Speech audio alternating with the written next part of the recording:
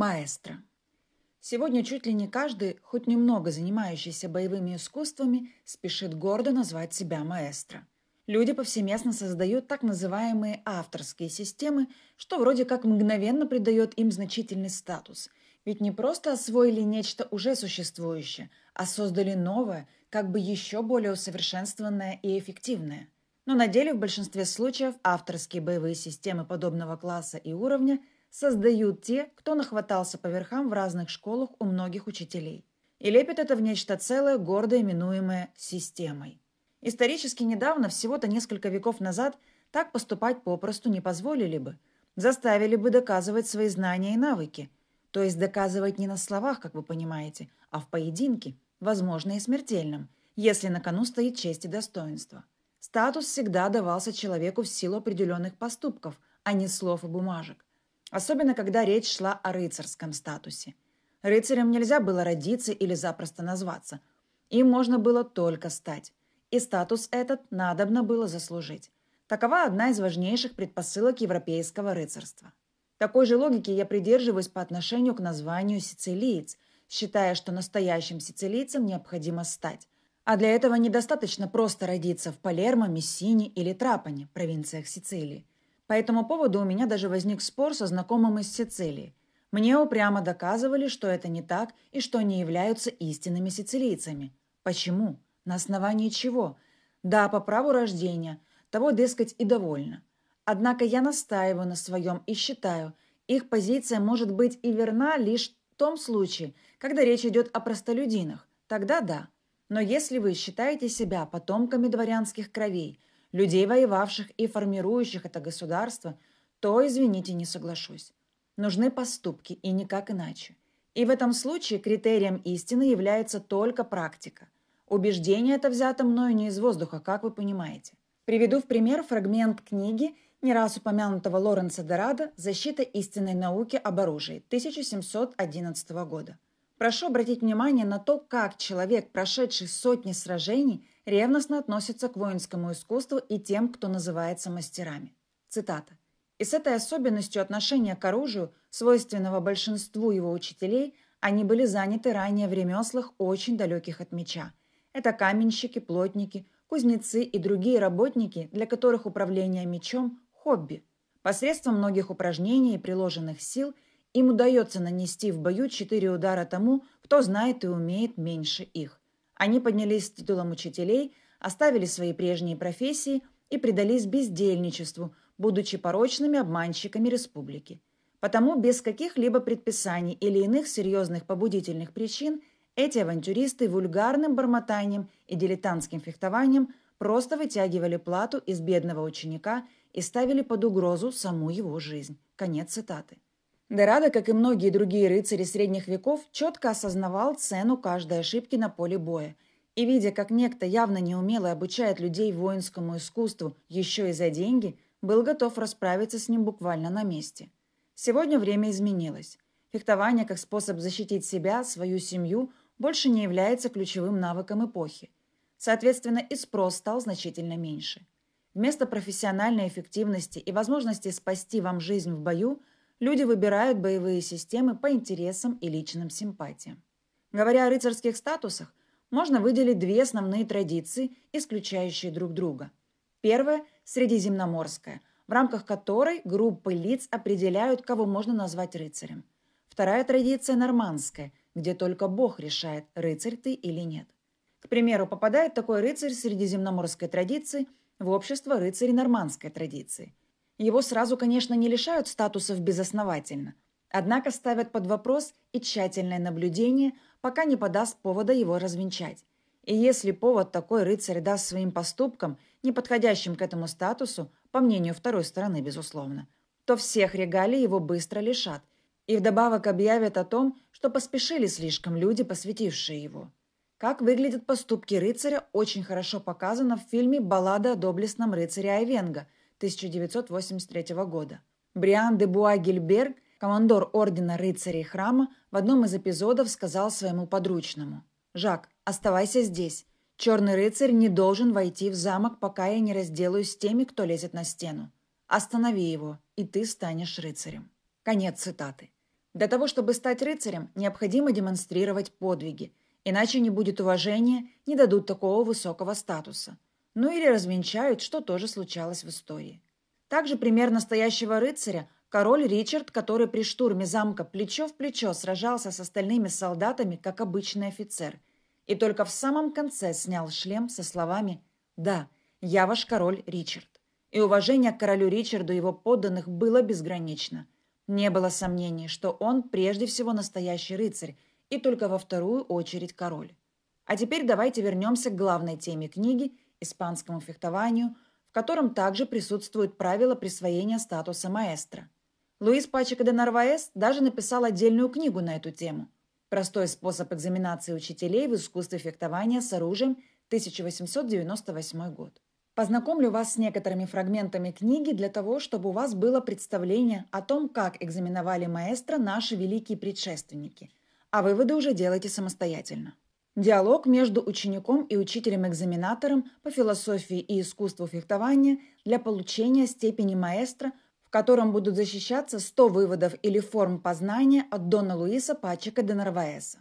Если хотите быть таким же авторитетом для своих учеников, как Аристотель, вы должны быть уверены, то, чему их учите, является истиной. Согласно Квинтилиану, маэстро должен освещать путь, будто солнце – преодолевая заблуждение и густой туман невежества. Недобросовестно выполняя свои обязанности учителя, он будет обвинен в том, что ничему не научил и ничего не знал. Учитель. Что такое дестреза? Ученик. Как правило, это привычка к чему-либо, которую человек обретает, выполняя упражнения, что позволяет ему стать ловким и должным образом развить свой потенциал. Учитель. О чем именно мы говорим сейчас? Ученик. Мы говорим о дестрезе, о навыке, который используется против уловок. Учитель. Говоря точнее, что такое уловка? Ученик. Это принцип, формируемый человеком и направленный на самооборону и атаку противника в силу существования необходимости защищаться. Учитель. Сколько принципов может быть применено человеком? Ученик. Бесконечное количество в соответствии с нашим потенциалом. Учитель. Тогда почему может быть бесконечное количество уловок, если невозможно защищаться и нет такой возможности, хотя этого не может быть в дестрезе? Допустим, против человека может быть использовано бесконечное количество принципов, а варианты обороны ограничены. Тогда получается, что между ними нет пропорциональности? Ученик. Так же, как и не все суждения, дающие понимание, могут быть сведены к практике по причине одновременного функционирования духа человека и его тела, которое является физическим и земным. Исходя из такого понимания, могут быть сформированы не все уловки. Учитель. Следовательно, искусство фехтования не сводится к науке и не является таковым. Как это возможно в таком случае? Ученик. Дестреза может быть сведена к науке. Это является неоспоримым и неопровержимым фактом. Учитель. Как это можно доказать? Ученик. Только посредством научного определения. Учитель. Ну что ж, Пожалуй, послушаем это определение. Ученик. Существуют два определения. Первое – это привычка постигать посредством демонстрации. Второе – это истинное знание предмета и его причины. Фрагмент 2. Учитель. Что такое движение? Ученик. Вообще говоря, в практике дестрезы это действие движущей силы, данной человеку от природы для осуществления движений всем телом одновременно и отдельными его частями, перемещаясь из одного места в другое. Учитель. И сколько существует движений? Ученик. Если речь идет о разновидностях движений, то их не более одной. Учитель. Если их не более одной, то как посредством только одного движения осуществляются все эти уловки, столь противоречивые и разные? Ученик. Повторюсь, это только одна разновидность. Образно говоря, это как одно дерево с разными ветками, на которых сидят разные птицы. Также и движение. Оно включает в себя разные виды. Учитель. Сколько существует таких видов? Ученик. Простых шесть. Наступательное движение, естественное, отклоняющее, подавляющее, отступательное и случайное. Учитель. Продемонстрируй их, используя шпагу. Ученик. Наступательным называется движение шпагой снизу вверх, Естественным движение вниз, движение шпагой из одной стороны в другую – это отклоняющее. Подавляющее действие предполагает возврат шпаги в центр под прямым углом. Отступательным называется движение назад, одернув руку со шпагой, а движение вперед называется случайным. Фрагмент 3. Учитель. Что такое траектория в дестрезе? Ученик. Траектория – это механизм или мерило, посредством которого мы отделяем одно от другого, передвигаясь из одного места в другое. Кроме того, существует пять простых разновидностей траекторий. Прямые, косые, поперечные, колеблющиеся и траектории для отступления. Учитель, новые названия, которые мы не слышали до этого, требуют объяснения и демонстраций, если это возможно. Ученик, для этого нужно рассмотреть воображаемый круг между двумя противниками, убедиться, что все пропорционально, а также учесть внешние и внутренние линии.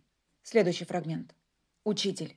Что такое срединная пропорциональность в дестрезе, без которой, как говорят, удар не может быть нанесен безопасно? Ученик. Это дистанция, искомая фехтовальщиком, при которой он сможет нанести удар, либо защититься, либо открыть стороны противника под разными углами и контролировать его шпагу. Учитель. В этом случае понадобится только срединная пропорциональность или что-то еще? Ученик. Каждой разновидности уловки соответствует своя пропорциональность. Учитель. Разве не может быть только одной, подходящей для всех уловок? Ученик.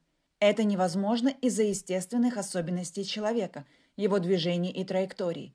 Если рассматривать части тела противника, куда мы хотим нанести удар, необходимо рассматривать четыре вертикальных линии, две боковых и две диагональных, каждая из которых отличается от другой. С того места, где находится фехтовальщик, не представляется возможным достичь все эти линии, и отсюда следует, что должно быть столько способов, сколько существует таких мест. Следующий фрагмент. Учитель. Что означает в фехтовании завершающее движение? Ученик. Это, пожалуй, самое сильное движение, которое только может быть в нашем искусстве. Единственное, эффективное и превосходящее, оно не обязательно должно быть смертельным, хотя противника можно убить, если потребуется для обороны. Это действие разрушает наступательные движения и лишает противника возможности наступления при помощи используемого инструмента. Учитель. В таком случае можем ли мы назвать завершающее движение универсальным приемом? Ученик. Да. При наличии навыков практики дестрезы, предполагающих осознание, позволяющих совершать только завершающие движения. Не все уловки, неважно, совершаются ли они фехтовальщиком или его противником, осуществляются таким движением.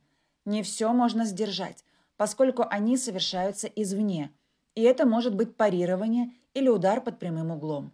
Уловки, совершаемые внутри, чаще всего называются притеснением, где не подходит позиция под прямым углом, а парирование не может быть осуществлено безопасно, без риска входа противника для атаки.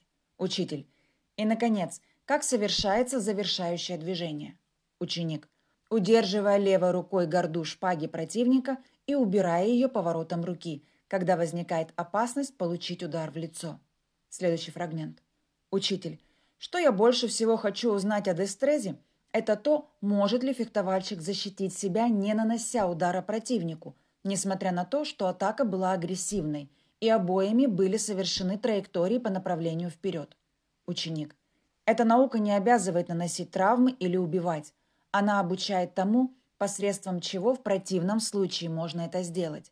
И если по обе стороны есть подходящая дистанция для косой, поперечной и колеблющейся траектории, можно их использовать, совершая парирование естественным движением с режущим ударом и ударом тыльной стороной руки или случайным выпадом, а срединный режущий удар и срединный удар тыльной стороной руки помогут при завершающем движении, продолжится с движением отклоняющим.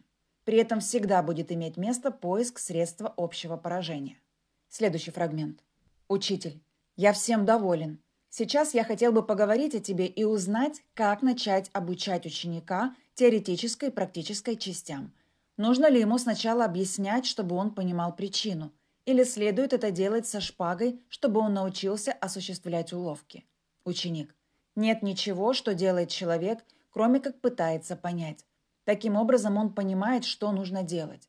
Сначала он должен уяснить причину самой вещи – а не то, что должен делать человек. И потому рекомендуется дать ему понятие простых и смешанных движениях, которые он может совершать рукой, и о движениях, которые он может совершать шпагой. Нужно объяснить шесть основных линий, простые и смешанные, и должна быть возможность продемонстрировать это на противнике и доказать, каким образом прямой угол обеспечивает большую досягаемость и возможность обороны. Необходимо дать знания о вертикальных линиях, боковых и диагональных, которые изображены на теле человека, и показать, как по ним наносятся удары. Далее нужно показать простые и комбинированные траектории и объяснить, какая нога задействуется при движении по той или иной траектории. После этого рассматривается воображаемая окружность между двумя фехтовальщиками с поперечными и бесконечными линиями, которые считаются местами, через которые следует двигаться по траектории. Следует дать ученику особое понимание углов, которые являются причиной соприкосновения шпаг, и о том, как, даже если это очень короткое парирование или то, что называется выгодой, при захвате используются четыре или все прямые, либо два тупых и два острых угла. Прямые, когда шпаги соприкасаются в середине их длины, служат только для обороны, а тупые и острые углы – и для обороны, и для атаки.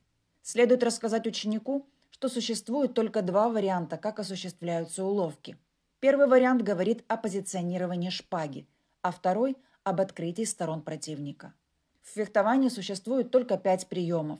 Режущий удар, удар тыльной стороной руки, прямой удар с выпадом, срединный режущий удар и срединный удар тыльной стороной руки. Нужно рассказать ему о движениях, из которых состоит каждый из них. Неважно, совершаются ли они со свободной шпагой или со шпагой, которая сдерживается соперником. Также нужно доказать, что не существует отражающих ударов с остановкой, что отклонение может быть опасным, и что вместо этого нужно подчинить шпагу. После того, как он узнал об этом и других важных принципах, его обучают брать шпагу в руки и держать ее так крепко, чтобы вся сила тела передавалась через руку. Это позволит совершать мощные и быстрые движения. Нужно позволить ему постоянно занимать положение под прямым углом правой рукой – чтобы она могла находиться на любом из четырех концов – снизу, сверху и по сторонам. Необходимо объяснить, что корпус тела должен стоять на обеих ногах, находясь в равновесии, а пятки должны быть расположены противоположно друг другу на расстоянии не больше половины фута, таким образом, чтобы при повороте нижняя конечность соприкасалась с правой пяткой. Нужно научить его всем четырем основным уловкам, объяснить, как они противопоставляются друг другу и каковы особенности доминирования каждой из них. И, наконец, рассказать обо всем, что обсуждалось в трактате. Конец цитаты. Так выглядела экзаменация маэстро почти полтора века назад. Сегодня я предлагаю прочесть эту книгу и хотя бы самостоятельно ответить себе на вопрос. Вы обладаете такой же квалификацией в воинском искусстве? Честный ответ сразу даст вам понимание уровня ваших знаний и умений в этой области. Истинный маэстро – должен быть готов в любой момент не только ответить на теоретический вопрос, но и продемонстрировать каждое свое слово в боевых приемах, уловках, выпадах и так далее. Не зря командор Ордена Иисуса Христа Иеронима Санчес де Каранза, прародитель испанского фехтования, сказал, что все постигается через демонстрацию. К примеру, дворянин, мастер фехтования и лучший ученик Иеронима де Каранза Луис Пачика де Нарваес служил учителем фехтования у короля Испании Филиппа IV. А кроме этого, он, несомненно, был выдающимся воином. И в течение определенного времени убил более ста человек, сражаясь на дуэли в Мадриде. Это также было определенным этапом формирования и экзаменации его как мастера. Такие убийства продолжались бы и дальше, если бы в один день король не сказал «Еще раз я узнаю, что кто-то вызвал Пачика де Нарваеса на дуэль, вы будете иметь дело со мной. Иначе в скором времени в Мадриде не останется дворян». Вот так ему понадобилось сто человек, сто убитых противников для того, чтобы стать маэстро. Во времена Средневековья было крайне опасно говорить публично о том, что ты дворянин, рыцарь, фехтовальщик. Очень быстро могли предложить это доказать. От подобного предложения, как вы понимаете, отказаться было нельзя. А что именно необходимо было сделать для подтверждения своего статуса, описано в книге «Простой способ экзаменации учителей в искусстве фехтования с оружием». Что должен знать и уметь маэстро для того, чтобы называться маэстро? На первый взгляд книга может показаться довольно простой. Диалог ученика и учителя. Но читая ее более детально, вы сможете обратить внимание на огромное количество требований к ученику, среди которых знание философии, математики, умение безупречно управляться с разными видами оружия, выбор оружия – крайне важный аспект. Ведь маэстро должен уметь обращаться с любым видом оружия – и даже обходиться без него. Настоящий маэстро должен быть непобедимым, неуязвимым, и лишь Бог решает, когда ему умереть. Вот пример того, что пишет в своей книге «Философия оружия» Ирони Мадекаранза о квалификации маэстро и тех, кто может так именоваться. Цитата. Как мы видим, не зная теории, мы не можем узнать, какие уловки, какой характер линий содержится в этих уловках.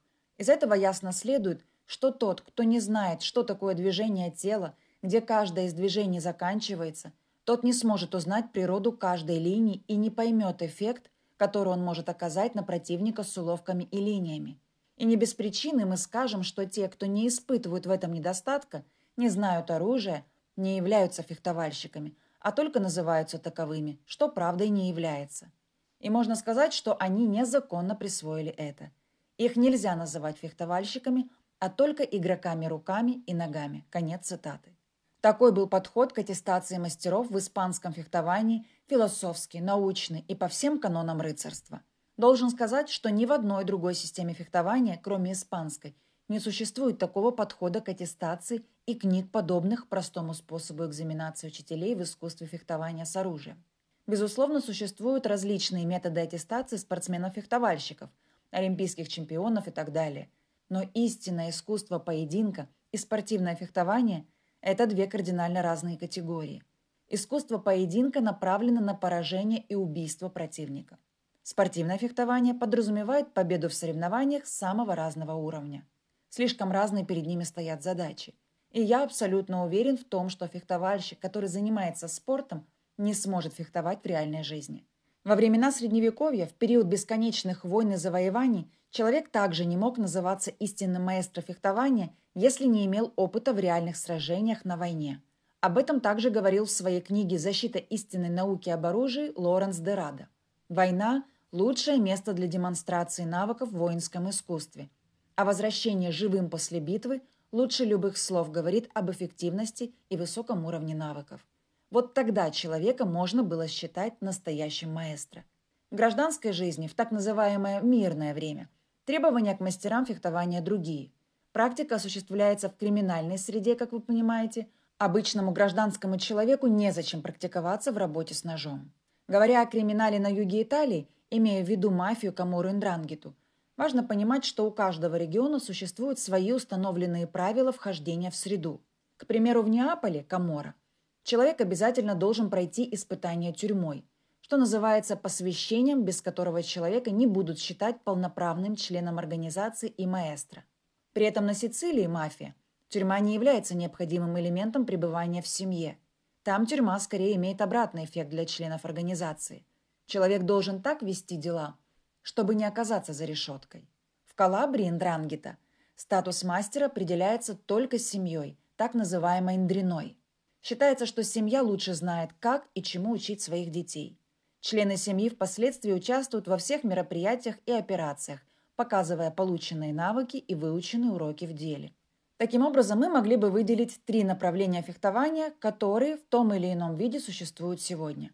Первое. Историческое фехтование – Ярким представителем этого направления является HEMA – Historical European Martial Arts. Второе – криминальное фехтование, о котором существует крайне мало информации. Третье – сценическое фехтование. Представители этого направления в значительном большинстве расположены на юге Италии. Это открытые школы, о которых мы уже говорили на страницах данной книги. Однако фактическую практику фехтования имеет только криминальное направление – все остальные приверженцы воинских искусств даже при желании не смогут получить реальную практику, не нарушая закона. Смертельные поединки на холодном оружии запрещены. Это ни для кого не секрет. Что касается Италии, как я уже говорил, законы о хранении и ношении холодного оружия значительно более жесткие, чем во многих других странах. Что уж говорить о поединках. Несмотря на это, представители криминального фехтования по сей день существуют на Сицилии. Это превосходные фехтовальщики, просто о них никто не знает. Познакомиться с такими людьми простому человеку практически невозможно. Даже если вы с кем-то и познакомитесь, вы не получите ответов на свои вопросы, потому что об этом там вслух не говорят. В фехтовании опережать противника – ключевой параметр. Но быть быстрее его не за счет движений не в попад, а умело и ловко препятствуя противнику осуществлять задуманные технические элементы – примеру, он достает нож, но вы видите, что его ноги стоят неверно. Ему будет необходимо развернуться к вам. Но кто же ему даст развернуться? Что же делать современному обывателю, желающему изучать фехтование, максимально близкое к той дестрезе, о которой мы читали в трактатах? Я бы порекомендовал отправиться на учебу к маэстро Рафаэля Эрмина, сицилийскому мастеру ножевого боя. Из всех школ, которые мы посетили на юге Италии, школу Эрмина я считаю наиболее профессиональной, передающей знания и навыки, пусть нереального поединка, но во всяком случае максимально к нему приближенного. Остальные школы и мастера, такие как Джузеппе Бонакорси, например, покажут вам лишь красивое сценическое представление и не более того. Помню, когда я был в этой школе, он спросил, что я думаю о его фехтовании. Я ответил, не впечатлен увиденным. Он сильно обиделся на меня. А ведь я всего лишь был прям и честен. Более того, мы находились в его школе не бесплатно. За оказанное внимание заплатили немалые деньги. Приехали в коммерческую структуру. Я купил билет. Представление не понравилось. Что тут еще говорить? К примеру, вышеупомянутый Рафаэль Эрмина пригласил меня в гости и даже не подумал выставлять счета. А ведь времени и внимания уделил мне значительно больше, чем многие его южноитальянские коллеги. И я к нему с большим уважением отношусь по сей день. Откровенно говорю, что, безусловно, выделяю его среди всех современных мастеров Сицилии. Конечно, у меня существует немало вопросов к его технике, к исполнению технических элементов. Но он сделал и показал все, что знает. А знает он немало. И я по сей день считаю, что этот человек сыграл значительную роль в моем исследовании Сицилии, знакомстве с традициями и культурой этого народа в наши дни. Он познакомил меня с их деревенским сиракузским тюремным стилем, рассказал множество историй о венецианском и сицилийском символизме. Мы вместе посещали храмы, рассматривали картины, много говорили. Он приглашал меня на закрытые тренировки в свою школу, помогал как мог, за что ему очень благодарен. И, конечно, я благодарен Кармело Тангони, директору сицилийской школы фехтования Филии де Лента. Он также помогал нам в исследовании, создавал условия, отвечал на вопросы, показывал старинное оружие и так далее. Многое рассказал о современных мастерах и школах, что значительно продвинуло ход нашего исследования. При этом я не считаю Тангону выдающимся мастером фехтования, однако он просто потрясающий источник информации. В этой книге мы не можем говорить о людях, которые являются представителями криминального направления на юге Италии. Среди моих знакомых есть и такие контакты, но имен и ссылок на них я дать не могу – вы должны понять, об этом слух не говорят. Именно поэтому я много лет не решался писать эту книгу. Слишком много знаю, но мало могу об этом рассказать публично. Поэтому иногда вам придется мне просто верить на слово. Отвечаю за свои слова, но доказать не могу. Я много лет потратил, чтобы завоевать доверие определенных лиц на Сицилии. И только спустя годы и десятки моих поездок люди начинали говорить в моем присутствии откровенно. Причины их опаски я называл уже не раз – то, о чем рассказывали, может стоить им свободы в буквальном смысле слова. Разговаривая с нами, эти люди фактически совершали преступления в рамках итальянского законодательства. Обсуждать с другими людьми то, как убивать людей на Сицилии, нельзя, а меня интересовало именно это. При этом показывать результаты своей научной работы могу свободно. Это абсолютно законно. Более того, мы проводили в Палермо десятки семинаров по различным видам и направлениям воинских искусств, эти мероприятия освещались в местных СМИ и даже приветствовались городским управлением. Ученые Украины приехали на юг Италии, изучая историю и культуру региона. И все проходило гладко, потому что мы четко знали, как правильно проводить подобные семинары, что и как на них говорить, показывать. Все, что с наукой связано, законно. А вот встреча двух людей вечером за бутылкой вина и разговоры о том, как одни люди быстро и ловко убивают других, в Италии будет воспринято однозначно. Там этим занимаются люди конкретного сословия и называются они мафией. Так что сами понимаете. Но если вы все же соберетесь когда-нибудь поехать на юг Италии с целью провести собственное исследование, то настоятельно вам рекомендую выучить итальянский язык. Ведь даже если вы встретите тех, того, кто будет готов поведать вам некую информацию из разряда «об этом вслух не говорят», шансом, что вам расскажут это через третьих лиц, крайне мало – Люди в Италии не любят говорить на английском языке, даже те, кто превосходно им владеют. Я не говорю на итальянском языке, но мне очень повезло с переводчиком. Анна Филиппова – мой переводчик и помощник. Ездит со мной в экспедицию уже более 10 лет. За это время ей удалось стать на Сицилии своей. К ней буквально относятся как к близкому человеку, и это очень дорогого стоит, поверьте мне. Добиться такого расположения там непросто. Кроме этого, она долгие часы и дни провела в местных архивах и библиотеках, договаривалась и получала необходимые материалы. Все это возможно только при знании языка. Калабрии также вам понадобится итальянский язык или первоклассный переводчик. А в Неаполе такие проблемы не возникнут. Там почти все говорят на английском языке. Город портовый, насыщенный иностранцами. Так что английский язык – дело привычное, не вызывающее сопротивления. Подводя итог, важно сказать, что истинный маэстро на юге Италии – это не просто тот, который занимается воинскими искусствами. Это человек, готовый совершать правильные поступки и в любой момент доказывать свой статус. Он здесь называется маэстро, потому что имеет на это право. Сноски. Первое. Дрина. Это минимальная единица ндрангиты, ее основа, ее атом. Чаще всего она состоит из членов одной семьи и к тому же обладает определенной независимостью. Каждая ндрина контролирует определенную территорию, за ней закрепленную. Сноска 2. Хема. Современное течение исторического фехтования. Основной целью последователей и активистов Хема является поиск манускриптов и трактатов, их изучение, перевод на современный язык, транслитерация текстов, перевод рукописных текстов в удобный и читаемый вариант, интерпретация написанного в соответствии с нынешним восприятием прошлых эпох и с учетом уже известных исторических фактов о культуре, бытии и философии народов, живших в эти эпохи. Так начинается увлекательное путешествие в удивительный мир Хема. В настоящее время интересы Хема охватывают более чем двухтысячелетний период развития фехтовального искусства, начиная с эпохи римских гладиаторов. Если говорить о литературном наследии, то это почти 700-летний период. Официальная информация позиционирования.